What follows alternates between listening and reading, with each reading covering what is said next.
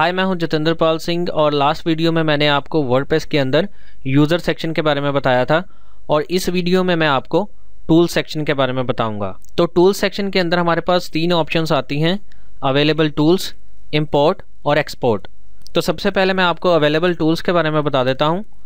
जब आप इस लिंक पर क्लिक करेंगे तो आपके पास ये पेज ओपन हो जाएगा।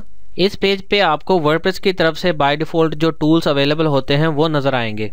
यहाँ पे देखिए, पहला है प्रेस दिस और दूसरा ओपन प्रेस दिस और अगर आप स्क्रॉल डाउन करके देखेंगे तो आपको एक ये भी नज़र आएगा कैटेगरीज एंड टैग्स कन्वर्टर तो सबसे पहले मैं आपको प्रेस दिस टूल के बारे में बता देता हूँ। ये टूल हम तब यूज़ करते हैं अगर हमें किसी वेबसाइट की कोई पोस्ट पसंद आती है और हम उसे अपनी वेबसाइट के अंदर शेयर करना चाहते हैं। या मान लीजिए कोई हमारी ही दूसरी वेबसाइट है, उसमें हमने कोई पोस्ट करके रखी है और मैं उसे अपनी इस करंट वेबसाइट के अंदर शेयर करना चाहता हूँ। तो ये प्रेस दिस टूल किसी पोस्ट इमेजेस या वीडियोस को अपनी वेबसाइट पे शेयर करने के लिए यूज़ होता है। तो अब मैं आपको बता देता हूँ इसे यूज़ कैसे करते हैं। इस टूल को हम ड्रैग करके अपनी बुक मार्क के अंदर ड्रॉप कर देते हैं। तो ये आपके पास बुक मार्क की तरह सेव हो जाता है। तो अब आप अगर किसी भी वेबसाइट पर जाएँगे, वहाँ पे आपको कोई पोस्ट पसंद आती है तो आप इस प्रेस दिस बटन पे क्लिक करेंगे तो वो आपकी वेबसाइट पे पब्लिश होने के लिए रेडी हो जाएगा। मैं आपको प्रैक्टिकली करके बताता हूँ इसे कैसे करते हैं। मैं यूट्यूब से अपनी कोई वीडियो को शेयर करके देखता हूँ। तो मैं यूट्यूब में सर्च करता हूँ जे पी वेब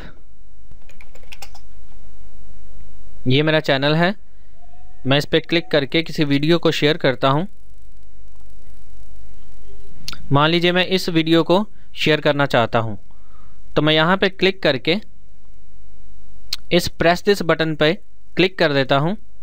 ये आपकी इंटरनेट की स्पीड पे डिपेंड करता है कि कब ये पेज शो होगा? ये देखिए, मेरी उस वीडियो का टाइटल आ चुका है और ये दो एडिटर आ चुके हैं विजुअल और टेक्स्ट टेक्स्ट के अंदर हमारे पास कोडिंग नज़र आती है। अगर मैं विजुअल पे क्लिक करता हूँ तो ये देखिए, मेरी वीडियो का लिंक यहाँ पे आ चुका है। अब मैं इस स्क्रीन को थोड़ा छोटा कर लेता हूँ, ताकि मुझे ये पब्लिश बटन नज़र आ जाए। मैं यहाँ पे पब्लिश बटन पे क्लिक करता हूँ। तो अब ये देखिए मेरी वेबसाइट के अंदर ये पोस्ट आ चुकी है। मैं इसे क्लोज़ करके अपनी वेबसाइट में आपको शो करता हूँ। यहाँ से मैं वेबसाइट को विज़िट करता हूँ। ये देखिए, हमारी रिसेंट पोस्ट के अंदर मेरी यूट्यूब वीडियो का टाइटल आ चुका है। मैं इस पर क्लिक करता हूँ। तो ये देखिए, ये उसका title responsive website template design in bootstrap with easy steps और ये उस वीडियो का लिंक मैं इस वीडियो पे क्लिक करता हूँ तो वो मेरी वीडियो यहाँ पे प्ले हो जाएगी। अब मैं यहाँ से इस वीडियो को देख सकता हूँ फुल स्क्रीन करके। मैं स्केप करके बाहर आता हूँ और इसे क्लोज़ कर देता हूँ और अपने एडमिन पैनल में दोबारा आ जाता हूँ। अब यहाँ पे आपको पता चल गया होगा कि प्रेस दिस बटन को कैसे यूज़ करते हैं और इसका क्या पर्पस है। ठीक इसी तरह ये ओपन प्रेस दिस टूल है, जो मोबाइल्स के लिए ज़्यादातर यूज़ होता है। ठीक उसी तरह जैसा मैंने आपको कंप्यूटर पे करके बताया इस टूल को यूज़ करके आप अपने मोबाइल पे किसी वेबसाइट पोस्ट को शेयर कर सकते हैं। उसके बाद हमारे पास है कैटेगरीज एंड टैग्स कन्वर्टर ये टूल आप तब यूज़ कर सकते हैं अगर आप अपनी वेबसाइट के अंदर जो कैटेगरीज हैं, उनको टैग्स में कन्वर्ट करना चाहते हैं या टैग्स को कैटेगरीज में कन्वर्ट करना चाहते हैं तो। तो इसे यूज़ करने के लिए आप या तो इस लिंक पे क्लिक कर सकते हैं या ये लिंक आपको इम्पोर्ट के अंदर भी मिलेगा। ये देखिए कैटेगरीज एंड टैग्स कन्वर्टर तो मैं यहाँ पे क्लिक करता हूँ। तो उस टूल को यूज़ करने के लिए सबसे पहले मुझे कैटेगरीज टू टैग्स कन्वर्टर ये प्लगइन इंस्टॉल करना पड़ेगा। तो मैं यहाँ पे इंस्टॉल नाव पे क्लिक करता हूँ। ये देखिए, ये प्लगइन डाउनलोड होकर इंस्टॉल हो चुका है। अब मैं इसे एक्टिवेट कर देता हूँ। तो ये देखिए, सबसे पहली ऑप्शन मेरे पास नज़र आ रही है। कैटेगरीज टू टैग्स या टैग्स टू कैटेगरीज मीन्स आप किस चीज़ को कन्वर्ट करना चाहते हैं? कैटेगरीज को टैग्स में कन्वर्ट करना चाहते हैं या टैग्स को कैटेगरीज में? तो मैं यहाँ पे क्लिक कर देता हूँ कैटेगरीज टू टैग्स तो मेरे पास मेरी वेबसाइट के अंदर जो कैटेगरीज हैं, वो सारी यहाँ पे शो हो चुकी हैं। आप जिस कैटेगरी को टैग्स में कन्वर्ट करना चाहते हैं, आप उन्हें यहाँ से सिलेक्ट कर सकते हैं या चेक कॉल की ऑप्शन पे टिक करके आप सारी कैटेगरीज को कन्वर्ट कर सकते हैं। तो जब मैं इस बटन पे क्लिक करूँगा कन्वर्ट कैटेगरीज टू टैग्स तो मेरी वेबसाइट की सारी कैटेगरीज हैं जो, वो टैग्स में कन्वर्ट हो जाएँगी। तो मैं इसे कन्वर्ट नहीं करूँगा। मैं बस आपको इसका यूज़ बताना चाहता था कि क्या होता है।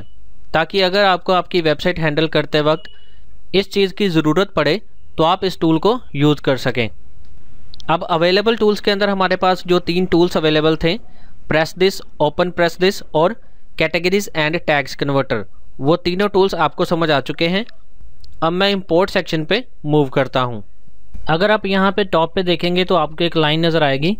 इफ़ यू हैव पोस्ट और comments in another system WordPress can import those into this site इसका मतलब है कि अगर आपके पास कुछ पोस्ट या कमेंट्स किसी दूसरे सिस्टम में है तो वर्डप्रेस उन्हें इस वेबसाइट के अंदर इम्पोर्ट कर सकता है।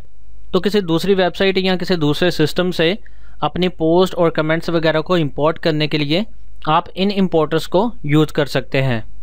आप ब्लॉगर यूज़ कर सकते हैं लाइव जर्नल यूज़ कर सकते हैं R S S feed use कर सकते हैं या टम्बलर यूज़ कर सकते हैं। लेकिन मैं आपको वर्डप्रेस के बारे में बता रहा हूँ। तो इसलिए मैं आपको यहाँ पे बताता हूँ कि वर्डप्रेस के अंदर हम कैसे अपने डाटा को इंपोर्ट कर सकते हैं। तो यहाँ पे अपनी मैं लोकल पे दूसरी वेबसाइट ओपन करता हूँ, जिसमें से सबसे पहले मैं कुछ डाटा एक्सपोर्ट करूँगा और फिर इस वेबसाइट के अंदर मैं इम्पोर्ट करूँगा। तो मैं यहाँ पे न्यू विंडो में अपनी दूसरी वेबसाइट ओपन करता हूँ।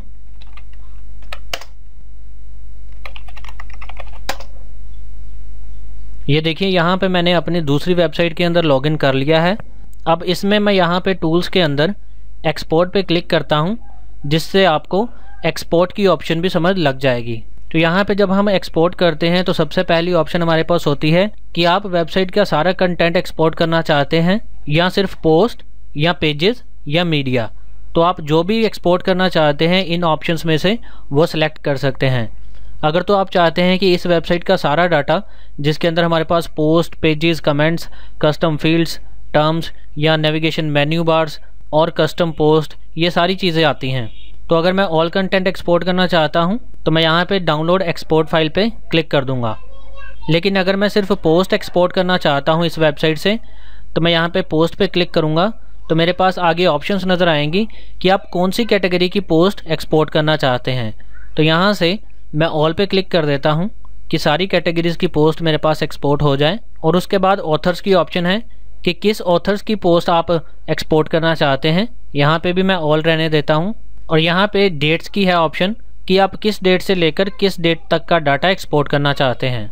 तो उसके बाद हमारे पास स्टेटस के अंदर भी कुछ ऑप्शंस हैं कि आप पब्लिश्ड शेड्यूल ड्राफ्ट पेंडिंग या प्राइवेट इनमें से कौन से स्टेटस की पोस्ट को एक्सपोर्ट करना चाहते हैं।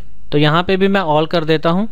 तो इन शॉर्ट मैं आपको ये बताना चाहता हूँ कि यहाँ पे सिर्फ़ मैं इस वेबसाइट के पोस्ट को ही एक्सपोर्ट कर रहा हूँ। तो मैं यहाँ पे डाउनलोड एक्सपोर्ट फ़ाइल पे क्लिक करता हूँ। जब आप डाउनलोड करेंगे तो आपको एक्सएमएल फॉर्मेट में एक फ़ाइल एक्सपोर्ट होकर मिल जाएगी। अब ये देखिए फ़ाइल डाउनलोड हो चुकी है। मैं इसे फ़ोल्डर में ओपन करता हूँ और अब इस फ़ाइल को मैं अपनी इस वेबसाइट में इंपोर्ट करूँगा। इंपोर्ट करने से पहले मैं आपको इसके पोस्ट दिखा देता हूँ ऑल पोस्ट पे क्लिक करके, ताकि आपको थोड़ा सा आइडिया हो जाए कि इसके अंदर कौन कौन सी पोस्ट हैं। ये देखिए, इसके अंदर यहाँ पे ये ये पोस्ट हैं और अब दूसरी वेबसाइट में आपको शो करता हूँ कि इसके अंदर कौन से पोस्ट हैं। ये देखिए। अब मैं इन सारे पोस्ट को अपनी इस वेबसाइट में इंपोर्ट करने जा रहा हूँ, जिसकी मैंने ये फ़ाइल डाउनलोड करके रखी है। तो अब मैं अपनी इस वेबसाइट में आकर यहाँ पे टूल्स के अंदर इंपोर्ट की ऑप्शन पे क्लिक करता हूँ और यहाँ पे वर्डप्रेस पे क्लिक करता हूँ, क्योंकि मेरी दूसरी वेबसाइट वर्डप्रेस में है। तो इंपोर्ट करने से पहले मेरे पास ये पेज ओपन हुआ है, जिससे मुझे ये समझ में आ रहा है कि मुझे सबसे पहले वर्डप्रेस इंपोर्टर प्लगइन को इंस्टॉल करना पड़ेगा। तो मैं यहाँ पे इसे इंस्टॉल नाव पे क्लिक करता हूँ। तो ये देखिए मेरे पास वर्डप्रेस का जो इम्पोर्टर प्लगइन है, वो इंस्टॉल हो चुका है। अब मैं इसे एक्टिवेट एंड रन इम्पोर्टर पे क्लिक करता हूँ तो ये एक्टिवेट होकर रन हो जाएगा। अब देखिए, मैं इम्पोर्टर पे क्लिक करूँगा तो मेरे पास वो ऑप्शंस नज़र आएँगी। पहले ही की तरह, मैं यहाँ से अगर वर्डप्रेस पे क्लिक करूँगा तो मुझे उस प्लगइन को इंस्टॉल करने के लिए नहीं बोलेगा, क्योंकि मैं इम्पोर्टर प्लगइन इंस्टॉल कर चुका हूँ। अब मैं यहाँ से अपनी वो फ़ाइल चूज़ करूँगा। ये मेरी फ़ाइल डाउनलोडर में पड़ी है। ये देखिए मेरी फ़ाइल। मैं यहाँ से इसे डबल क्लिक करके इंपोर्ट करता हूँ और upload file and import button पे क्लिक कर देता हूँ।